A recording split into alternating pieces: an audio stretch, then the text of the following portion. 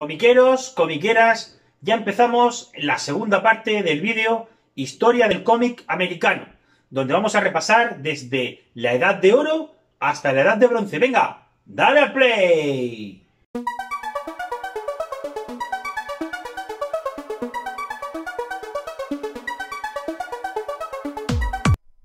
Y empezamos el segundo vídeo con la Edad de Oro de los cómics, que abarca desde 1938 hasta 1956. Y aquí tenemos que los efectos de la Gran Depresión aún siguen, además la Segunda Guerra Mundial empieza en Europa.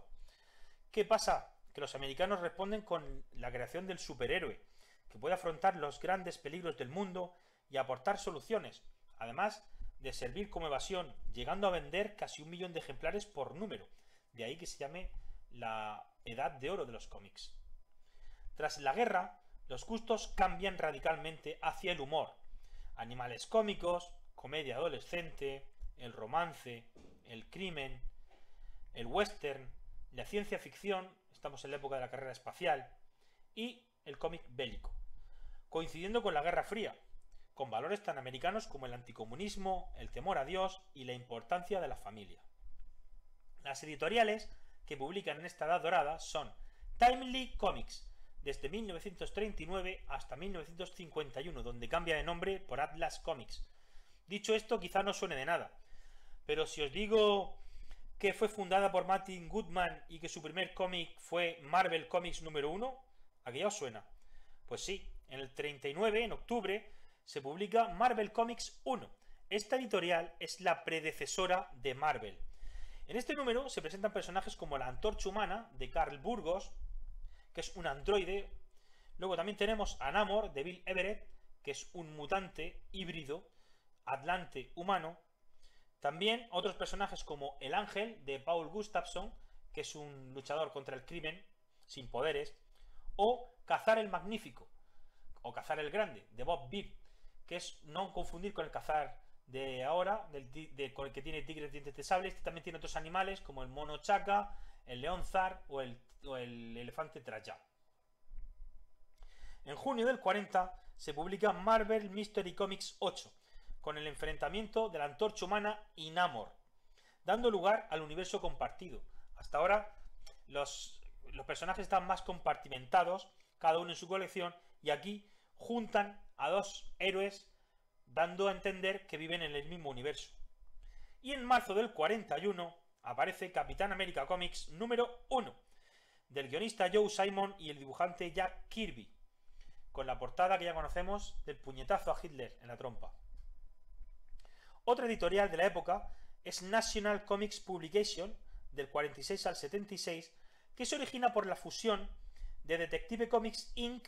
y All American Publications.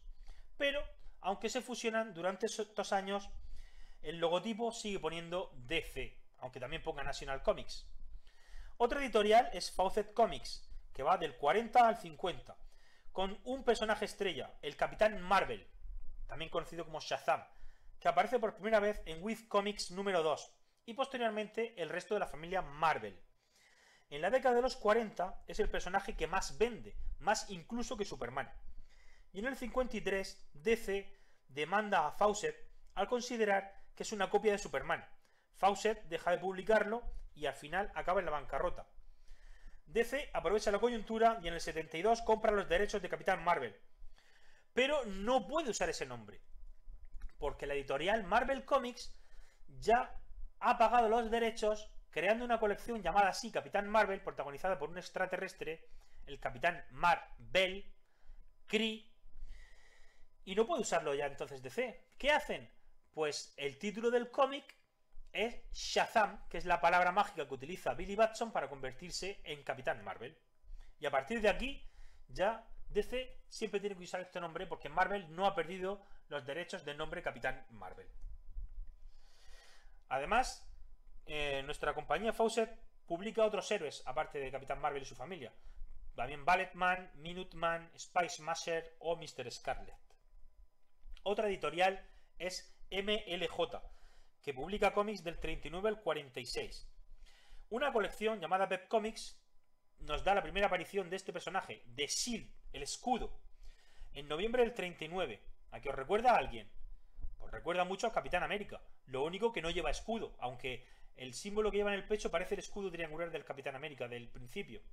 Pues este personaje antecede al Capitán América en varios meses, incluso más de un año. Como os he dicho, está publicado en noviembre del 39 y el Capitán América aparece por primera vez en marzo del 41, si es que está todo inventado. Además, el número, bueno, también hay otros héroes de esta compañía que forman el Red Circle, el círculo rojo. Y el número 22 de Web Comics aparecen por primera vez Archie y sus amigos de Riverdale, cobrando tanta fama que lleva a que en el año 46 cambien el nombre de la compañía de MLJ a Archie Comics, pero eso será otra historia que veremos luego.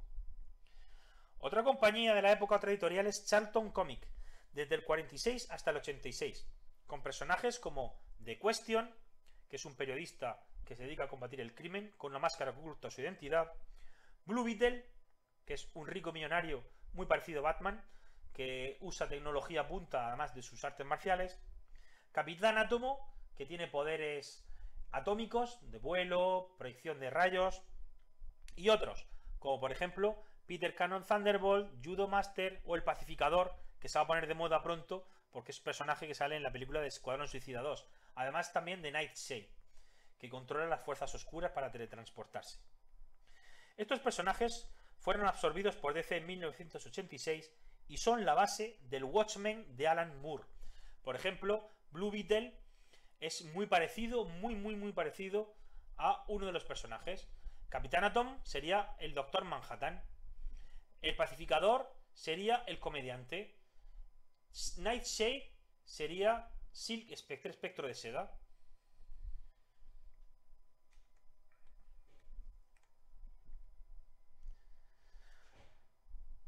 Otra de las compañías que publica es Charlton Comics, del 46 al 86, con personajes como Question, que es un periodista que oculta su identidad con una máscara sin, sin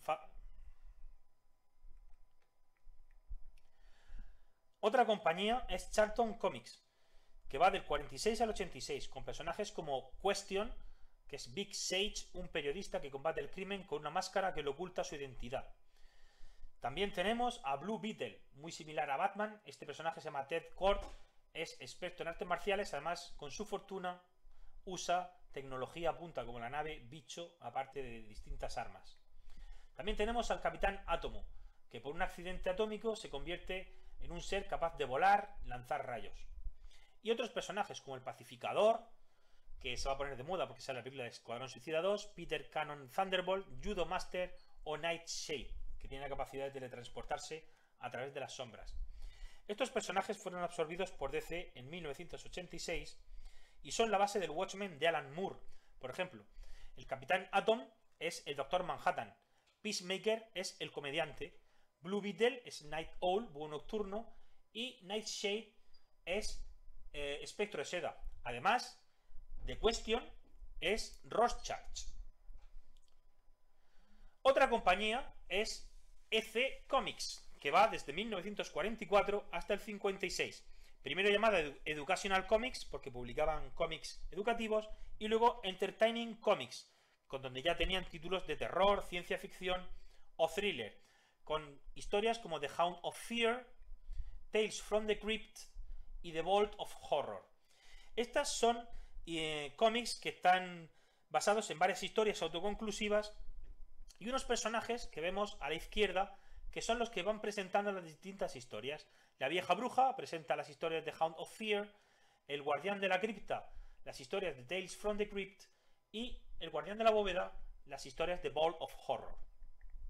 Además, esta editorial EC publica portadas como esta de Crime Suspense Stories, donde un hombre decapita a su mujer y tiene la cabeza como trofeo.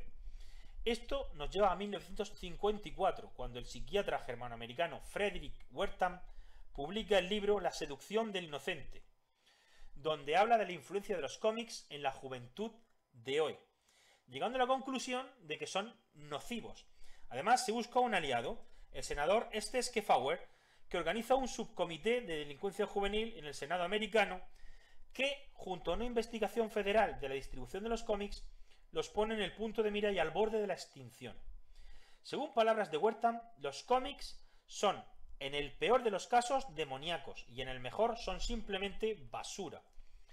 Los editores de cómics se tienen que unir en 1955 en la Comics Magazine Association of America, creando un sello llamado el Comics Code Authority, que textualmente dice, todas las escenas de terror, excesiva violencia, matanzas, crímenes horribles, depravación, lujuria, sadismo o masoquismo no serán permitidas. Además, no puede aparecer en portada palabras como terror, horror o extraño. Las editoriales se acatan a este código y lo ponían, ponían este sello en sus cómics.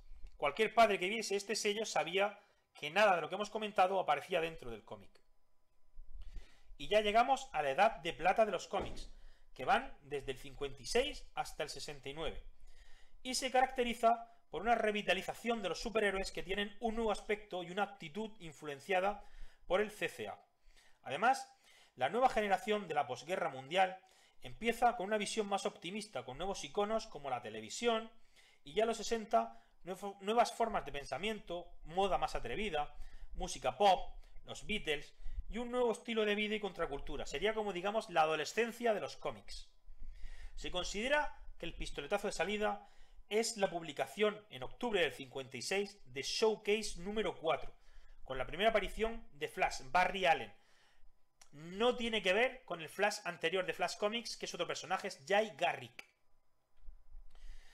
De las editoriales de esta época de plata tenemos Warren Publishing, fundada en el 57 por James Warren, con revistas como Creepy, Eerie o Vampirella, que se saltan las reglas del CCA con los problemas que ello les conlleva.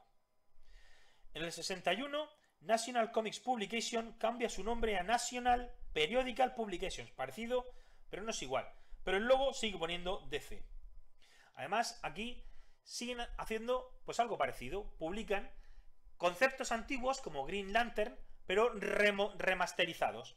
No es tampoco el mismo personaje, el Green Lantern anterior es Alan Scott con un anillo que su origen es místico y cuya debilidad es la madera, y este es Hal Jordan, cuyo anillo, su origen es científico y su debilidad es el color amarillo.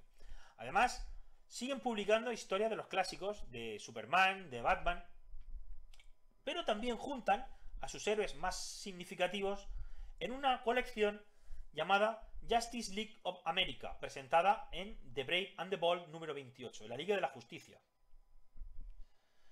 En el 66 se crea la serie de televisión de Batman, que ahora mismo parece muy naif, muy... vamos, muy poco edificante, pero en, en aquella época fue un hito. Además, eh, DC fue comprada por Kinney National Company, que es una compañía de entretenimiento que aparte de cómics se dedicaba a películas, televisión y música. Otra de las compañías es Atlas, que ya hemos hablado antes, es la evolución de Timely y va desde el 51 al 58. En el 58 Atlas deja de poner su sello. Atlas publicaba cómics al principio, pues también intentó revitalizar los superhéroes, pues la Antorcha Humana, Namor o Capitán América y Bucky. Pero ya los enemigos no son eh, los nazis, los enemigos ahora son los comunistas. Estamos en plena Guerra Fría. También se publican historias del oeste, también se publican historias de misterio también tenemos género bélico e incluso de terror, pero siempre con el código CCA, el Comics Code. Llegamos al número 1 de Fantastic Four, publicado en noviembre del 61. Esto cambió la compañía totalmente. Meses antes ya no se, no se ponía el sello de Atlas. Como veis en esta portada no aparece Atlas por ningún lado. Se aparece el sello del CCA, del Comics Code. Estos nuevos héroes estaban más cerca de la gente.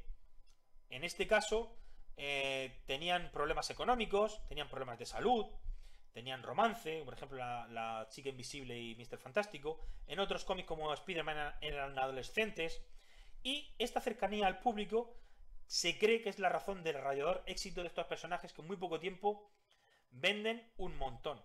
Tanto que llevan a que en mayo del 63 la compañía cambie su nombre por Marvel Comics Group.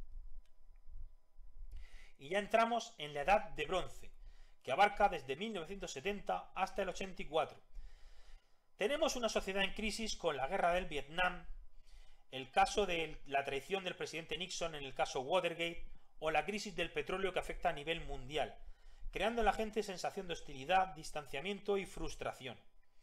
En el mundo de los cómics se crean historias más complejas, con mayor preocupación por temas sociales o raciales. Héroes de las minorías, aquí tenemos un ejemplo, Luke Cage, el héroe de alquiler. También por el medio ambiente, por las drogas, donde vemos como el dibujo también se hace más realista y los autores cada vez tienen más peso en las historias. Por ejemplo, en Green Lantern, Green Arrow, vemos como Speedy, el ayudante de Green Arrow, es un heroinómano. O en la colección de Spider-Man, donde Harry Osborn compañero de aviación y amigo de Spider-Man, de Peter Parker, prueba el LSD y queda enganchado. Además, se busca también negocio en medios rivales, como son la televisión o el cine, con licencias de El planeta de los simios, también tenemos Godzilla o Star Wars. La relajación del Comics Code Authority produce un aumento de cómics de terror, westerns, ciencia ficción, artes marciales y espada y brujería. Desaparecen en esta época los cómics bélicos, los de romance y vemos también como en el 72 Kinney, la empresa que es dueña de National Periodical, se convierte en Warner Communications, cambiando en el 76 el nombre de National a DC Comics. En el 78 se produce un hecho histórico y es la implosión DC. Desaparecen un montón de cómics. Previamente habíamos tenido la explosión, como aquí anunciaban aparecen un montón de cómics nuevos, lo que lleva al aumento de títulos y una bajada impresionante en las ventas que hace quebrar a compañías más débiles como Charlton y casi acaba con DC. Vais a ver la cantidad de cómics que se cierran en el año 78. Teen Titans, DC Superstars, Metal Men, Super Team Family, que era una colección que agrupaba distintas colecciones de Superman, como Jimmy, Jimmy Olsen o Lois Lane. Amazing World of DC Comics, Shazam, Challengers of the Unknown, Secret Society of Supervillains, Freedom Fighters, Karate Kid, Mr. Miracle, Return of the New Gods, Aquaman, Shade, The Changing Man, Showcase, All Star Comics, con la Sociedad de la Justicia, Black Lightning, Doorway to Nightmare, Kamandi, Last Boy on Earth, Our Fighting Forces, The Witching Hour, Batman Family, que también agrupaba distintas colecciones de Batman, colecciones menores, Firestorm, El Hombre Nuclear, The House of Secrets, Star Hunters y Steel, The Indestructible Man. Menos mal que este año sale Superman, la película, con, la, con el lema Creerás que un hombre puede volar. Y eso quizá hace que levanten un poquito la venta de los cómics y no llegue a desaparecer DC. Pero eso ya es otra historia para otro vídeo. Hay mucha información también en este vídeo, no tanta como en el otro, pero bueno, ya sabéis que tenéis que estar suscritos, que es gratis, que no cuesta nada, además nadie os ve, suscribíos. Si os ha gustado el vídeo, le dais al like. Y si queréis estar al tanto del siguiente vídeo, del tercero o del cuarto, dale a la campanita. Venga chicos, nos vemos en la tercera parte. ¡Hasta luego!